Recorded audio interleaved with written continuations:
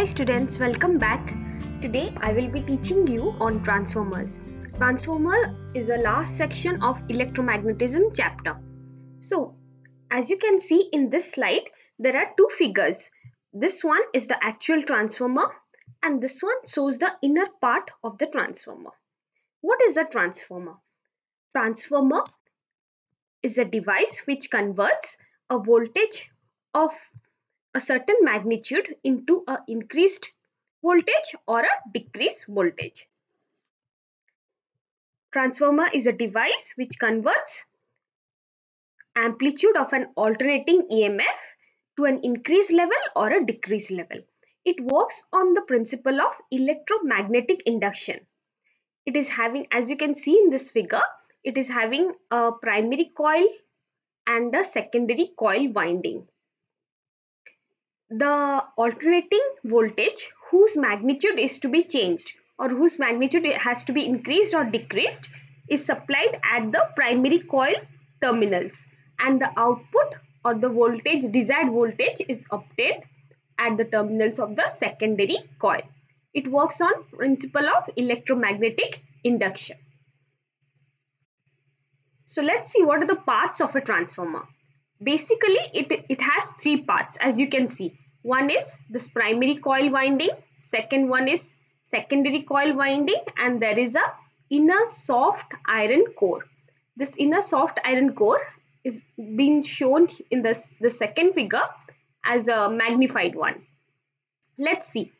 Parts of transformer consist of a rectangular soft iron core.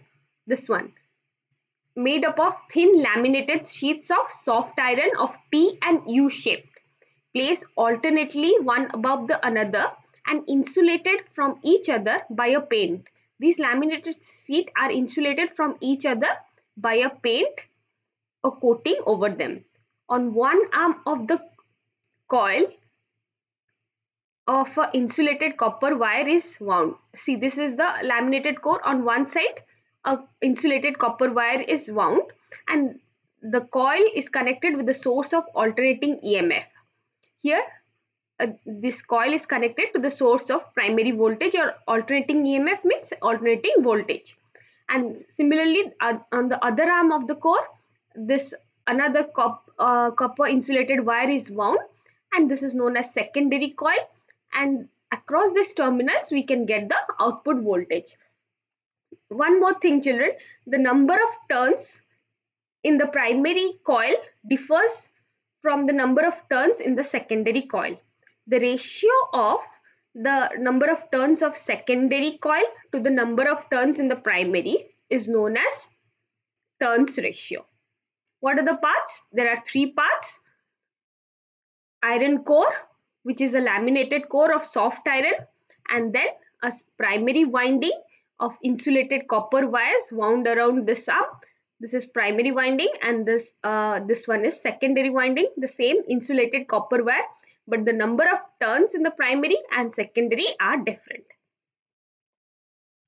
Now let's see points to remember. As we have already studied that the core consists of laminated sheets and they are insulated by paint. This laminated core prevents the loss of energy due to eddy currents. What is eddy current?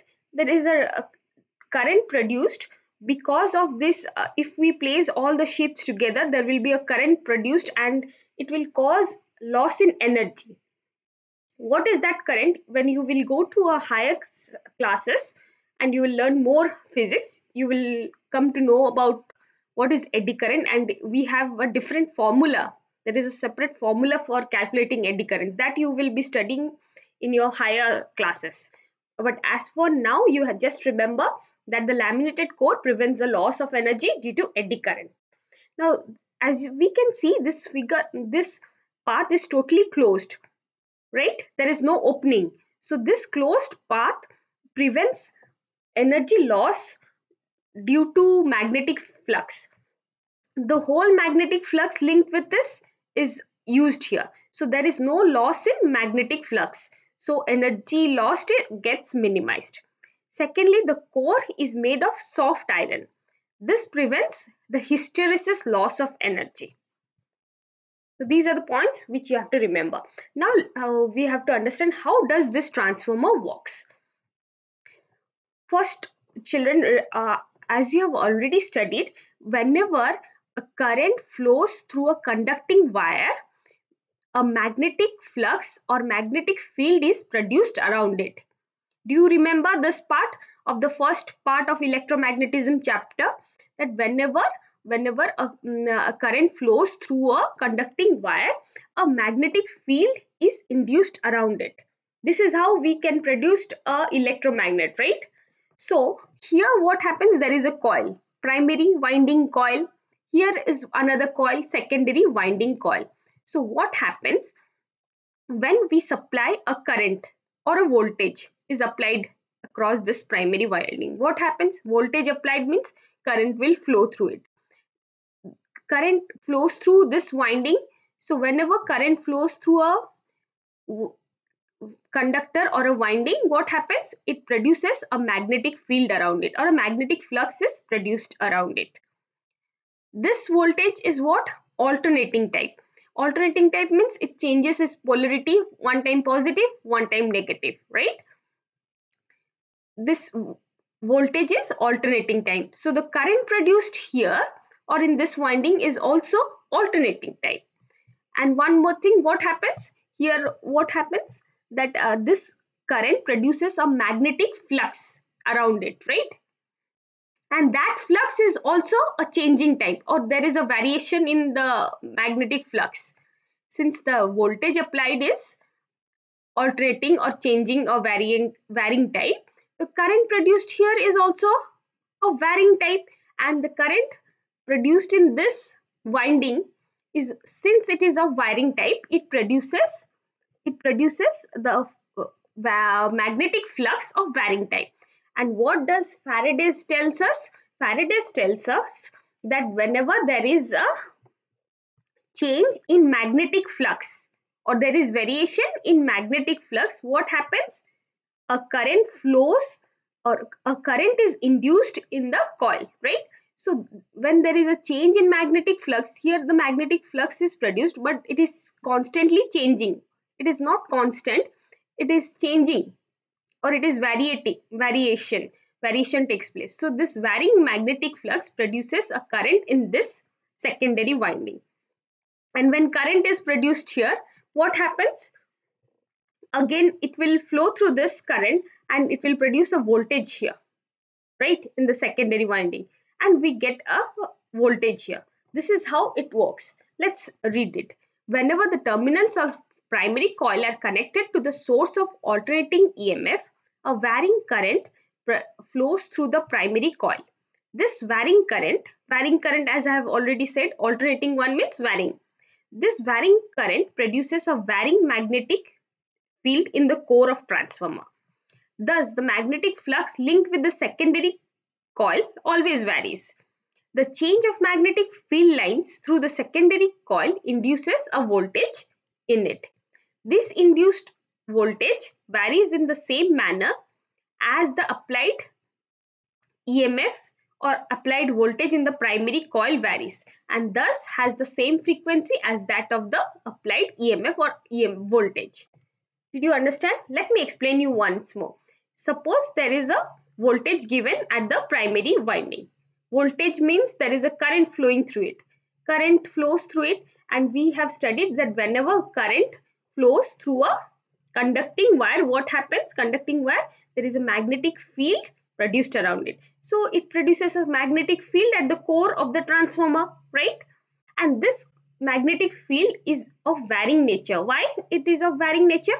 Because we have applied a varying voltage here varying voltage produces a varying current and varying current produces a varying magnetic field.